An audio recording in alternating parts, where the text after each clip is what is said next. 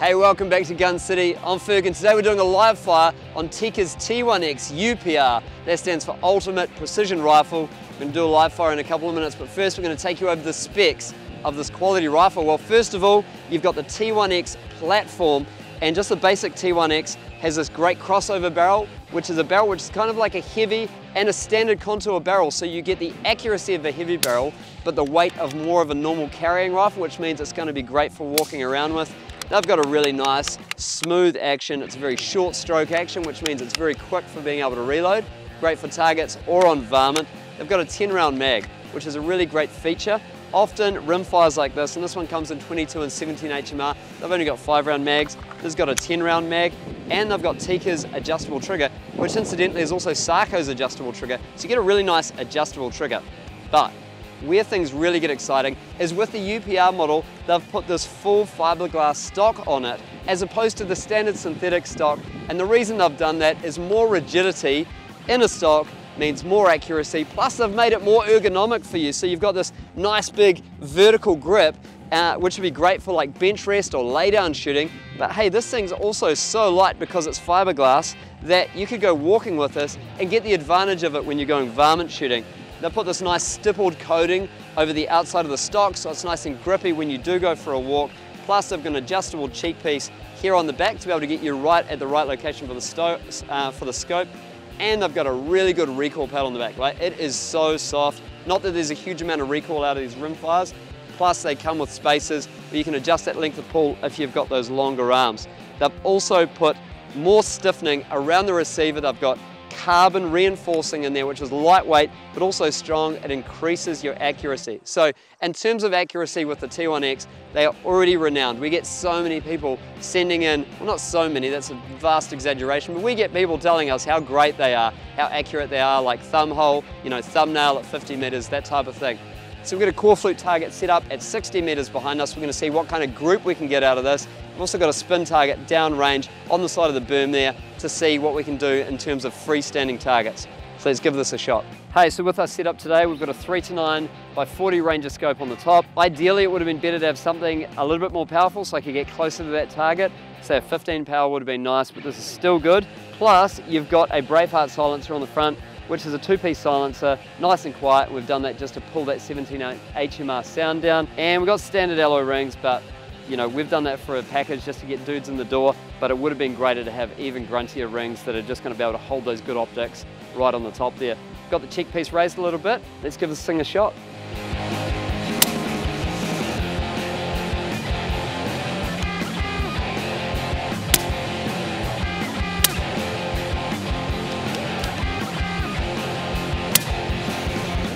Hey, so we've just had a wee bit of fun sighting it in, getting it onto target.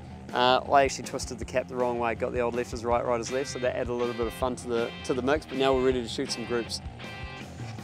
Hey Josh, is it Tikka or Tikka? Definitely Tikka.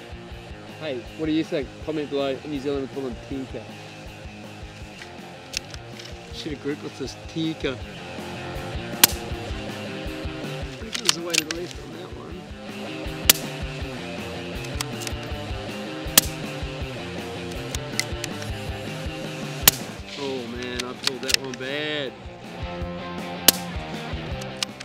Five rounds. I'm gonna go have a look down target.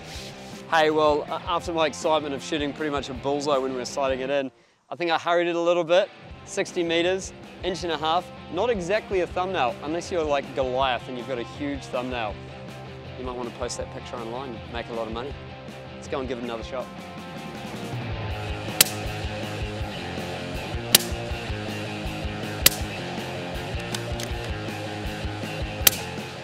No, that was way to the right. Right, let's go see how this one grouped. All right, so this is a bit embarrassing for me. Obviously not the best shot in the world. Here goes my group. I was aiming for the bullseye.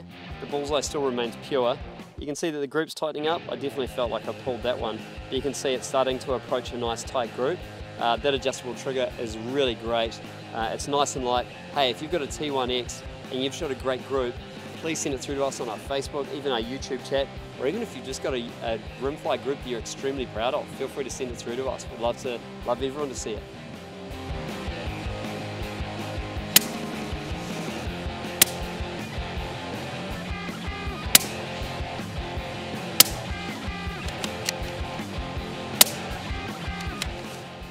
Alrighty, so we've shot three groups, now I'm gonna go freestanding.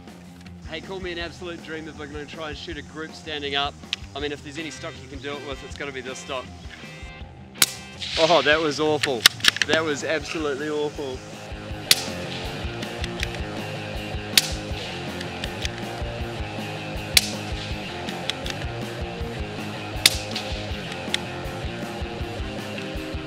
Okay, group number three, things are nice and tight. Still not on my thumbnail, three shots on my thumbnail, so I'm actually pretty happy with that at 60 meters. Uh, and then I chose to do a freestanding group, absolute dreamer, but at least got two kind of close. That one was definitely a flyer that I could feel happening, and um, the other two are gonna be sitting around here somewhere. So we're gonna give it a go at a freestanding gong shot now. What's that? I'm shouting with headphones on? Yeah, yeah, about that. Ah, I left the batteries behind. Is this better? Hey, we're just gonna shoot that gong just down range here, alright? Hey, so we're gonna shoot this gong behind me. It's about 85 meters away. We'll just see if I can freehand it. UPR is a comfortable stock, highly ergonomic. So let's see how we go.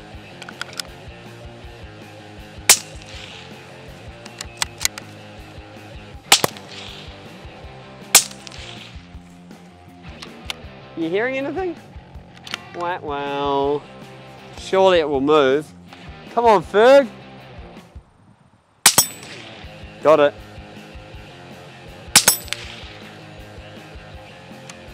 Bottom left. Yep. This is why it's so helpful to be able to sight in because you know where the thing's shooting. I was up and to the right.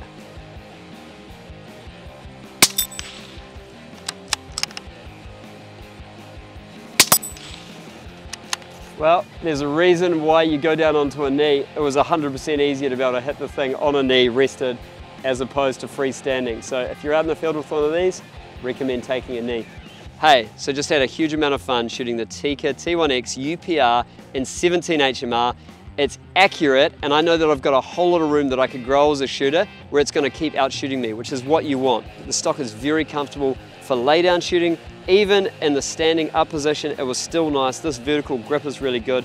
And I love the fact that it's got the ability to raise the cheek piece. In terms of a rifle, T1X, awesome. I think the person who's gonna buy the UPR is gonna be someone who really wants that ergo stock that is kind of like that next level finish and function. So if you want a rifle that just shoots the lights out and you want something that's a little bit different from what everyone else has, this UPR is waiting for you.